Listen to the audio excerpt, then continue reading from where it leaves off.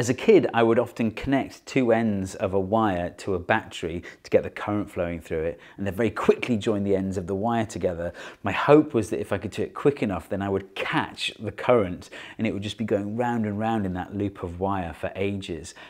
I don't think it's possible, but it is genuinely possible to get electricity flowing round and round in a loop of wire. All you have to do is make one end hot and one end cold like this. And look, using my multimeter, you can see there really is a small current flowing round and round in this loop of wire. I say all you have to do is make one end hot and one end cold. Actually, there's something a little unusual about the wires. They're not made of copper like wires normally are. Instead, they're made of two different alloys. One is called chromel, the other is called alumel. And there's nothing particularly special about alloys in general. An alloy is just a mix of different metals. In this case, mostly nickel, but with a few different ingredients to differentiate the two. And remarkably, when you have two different wires made of two different metals joined in this way, and you heat one of the junctions while cooling the other, electricity will go round and round and round. It's an incredible effect that turns out to be incredibly useful, especially when you consider the fact that it's reversible. So in this case, we're using a difference in temperature to create a voltage, but the opposite is also true. If you present a voltage, then it creates a difference in temperature. Those two phenomena together are known as the thermoelectric effect, and I'll talk about both in this video, but specifically in this case, where a difference in temperature is creating a voltage, that's called the Seebeck effect. What causes the Seebeck effect? Well, let's look inside this short bit of wire you might know that metals have these free moving electrons. So normally electrons are bound quite tightly to their atoms, but in the case of metals, some of the electrons are free to move around within the bulk of the metal. That's what makes metal conductive. When electricity is moving through metal, it's because those free electrons are flowing through it. These freely moving electrons also have some thermal energy, unless the metal's at absolute zero, which is rare. I'm showing that thermal energy as a jiggle of the electrons because that's all thermal energy is. It's atomic scale jiggle. These freely moving electrons are sometimes referred to as the sea of electrons, but thinking about the electrons as a gas is actually a more useful analogy for our purposes. And you probably know this, when you heat a gas, the gas expands. In other words, the particles of the gas get further away from each other. And that's because as you heat the gas, they get more thermal energy, the amount of jiggle goes up, they're moving faster, they're bumping into each other more often with more energy, so they're pushing themselves apart from each other. And the same thing happens with the gas, in inverted commas, of electrons in our metal. As you heat one end of the bar, those electrons will move apart from each other, and while you're cooling the other end, they're going to contract. They have less thermal energy, they're bumping to each other with less energy, less often, they can get closer to each other. So the overall effect now is a deficit of electrons on the hot end and a surplus of electrons on the cold end. So what that looks like from the outside is a slight positive charge on one end and a slight negative charge on the other end. So that's the Seebeck effect in a nutshell, but crucially, the Seebeck effect is more pronounced in some metals and less pronounced in others. So imagine taking a different metal, heating up one end, cooling down the other in exactly the same way, but that charge separation is less pronounced because the Seebeck effect isn't as strong, because the lattice of ions of the metal have a stronger grip on those electrons. So a greater charge separation isn't allowed. But in any case, what happens if you take these two different metal wires and join the two ends together? Well, the Seebeck effect is strong in the top wire in our diagram here. So the electrons are being pushed strongly to the right. And in the bottom wire, the Seebeck effect is less strong, so those electrons are being weakly pushed to the right and they're actually pushing against each other. So the top wire is pushing clockwise and the bottom wire is pushing anti-clockwise. But because the Seebeck effect is stronger in the top wire, the top wire wins. Or to put that in less anthropomorphic terms, the net effect of the top wire pushing clockwise and the bottom wire pushing anti-clockwise is a net clockwise push of the electrons, so you get a flow of electrons in the clockwise direction. When you have two dissimilar metals joined together, like this, it's called a thermocouple. And a thermocouple is the working principle behind a lot of thermometers, especially those probe thermometers that you put in the food that you're cooking, or the one I used when I was calculating absolute zero that time. If you look inside the tip of one of those probe thermometers, there you'll find two dissimilar metals joined together. The voltage you get from a thermocouple is really small. If you want a decent voltage, you need to put a load of thermocouples in series, and that's actually what's going on inside here. So in here, you've got loads of wires going up and down, up and down, up and down, joined all together in series. So a whole load of the junctions are all hot, a whole load of junctions are all much cooler. This is called a thermopile, and the voltage you can get from it is much greater, as you can see here. A thermopile is an important component in your boiler. You might call it a furnace or a water heater. So your boiler has this thing called a pilot light. Actually, modern boilers don't always have one, but one of the jobs of a pilot light is to ensure unburnt gas doesn't leak into your house. So the pilot light is always lit. It's right there next to the burner. So if any gas comes out of the burner, it's gonna get lit. That's how the pilot light prevents unburnt gas escaping. But what if the pilot light goes out? You need some way to detect that and then switch off the gas supply. And that's where the thermopile comes in. If you look just above the pilot light in your boiler, you'll see a thermopile. And that generates enough voltage to power a solenoid that can hold open the gas valve. So if the pilot light goes out, the thermopile cools down, the voltage goes down, the solenoid shuts off, and the gas valve closes. You could instead use a single thermocouple producing a tiny voltage and use that as a switching mechanism. So you have a separate power supply for the solenoid and the thermocouple is just used as a switch.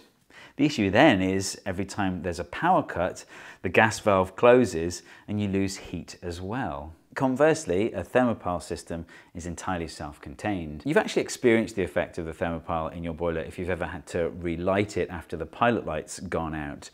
To relight a boiler with an extinguished pilot light, you have to push the dial in that overrides the solenoid. When you let go, you give control back to the solenoid. So if you don't leave the dial pushed in for long enough after the boiler is relit, the thermopile doesn't have enough time to heat up.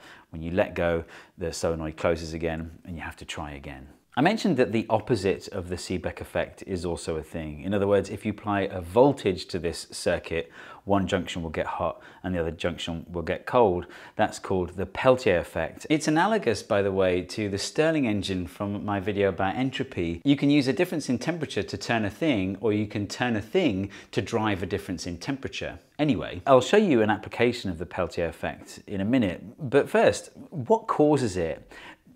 To see why the Peltier effect is a thing, we need to look at metal in a slightly different way to the way we were when we were explaining the Seebeck effect. Let's think about the energy levels of the electrons. So let's imagine we could extract all the electrons from a metal and then kind of pour them back in, they would start to occupy the lowest energy levels that they can, i.e. the ones closest to the nuclei of the metal ions.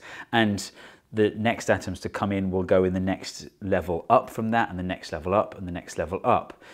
You think of those as the orbitals of the atoms, but in a metal you get to the point where it's not orbitals anymore, it's energy bands where all the energy levels are kind of shared amongst the atoms. But in any case, it's analogous to pouring balls into a beaker. Gosh, I haven't poured anything out of a beaker for a long time. At the moment, this analogy is missing something. It's missing thermal energy. At the moment, this looks like it's at absolute zero. So to add thermal energy, we need to put some jiggle in there. And it's only the topmost electrons that are able to jiggle. In other words, they're able to jump up and down through higher energy levels. And that's what I've tried to illustrate here.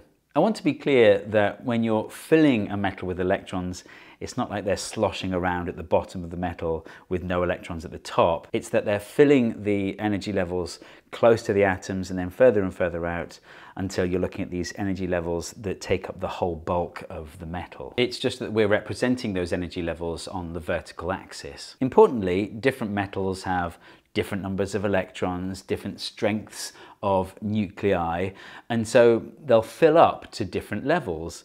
So here's a different metal here, and you can see those free electrons that are jumping up and down, they're higher overall. So we can bring these two metals together to form a junction. And in reality, there would be some movement of electrons between the metals, but I'm not going to show that because it confuses what I'm trying to explain. So now what we're going to do to show the Peltier effect, we're going to apply a voltage. And you can think of voltage as just pushing the electrons. In other words, we're going to push the electrons. In this case, we're going to push them from the left and see what happens. Well, it's a bit like bouncy balls on two different shelves at different levels. The bouncy balls on the lower shelf, we're going to push them across until they get up onto the top shelf. Well, let's look at what happens to actual bouncy balls when I release them onto the ground. They've got about 60 centimeters of bounce here, but look, the ones that happen to end up on the table, they've only got about 10 centimeters of bounce, if that. And that's because there's this constant interplay between kinetic energy and gravitational potential energy.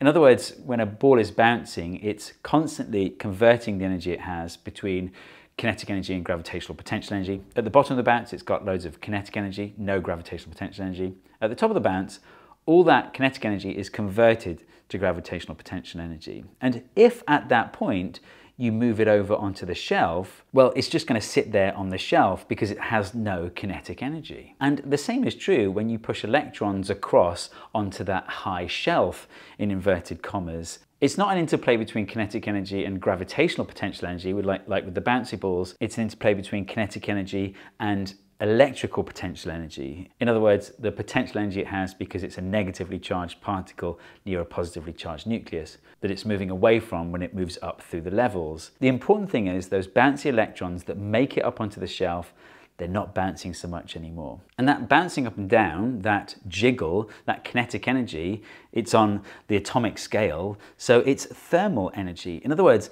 those electrons that make it up onto the shelf, they have less thermal energy, they cool down the metal. So when you apply a voltage across the junction, in such a way as to push electrons from the low shelf to the high shelf, you cool down the junction. The opposite is true when you push the electrons off the shelf.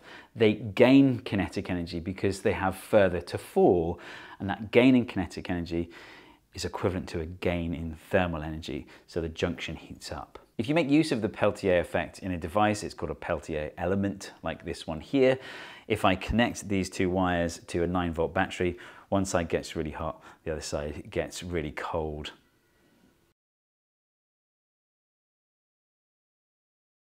I pull this one apart so you can see what's going on inside.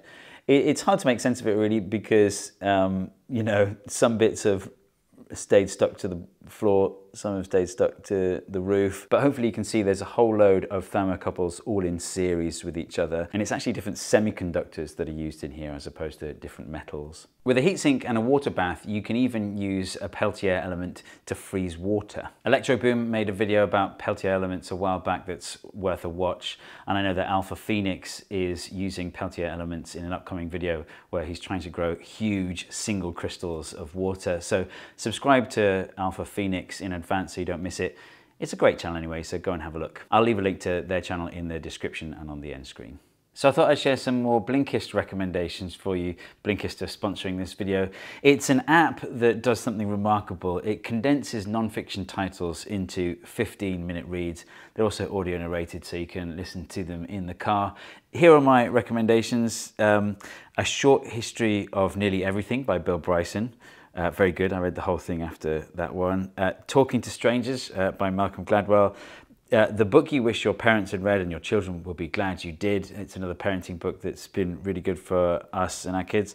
and uh, Born a Crime by Trevor Noah. That's just uh, four recommendations. There's so much to choose from. They've also got some great audio books that you can get a lot cheaper than anywhere else. The first 100 people to go to blinkist.com forward slash Steve Mould will get one week absolutely free, no strings attached, cancel whenever you like. It's an opportunity to try it out, but if you want to carry on, you'll also get 25% off membership.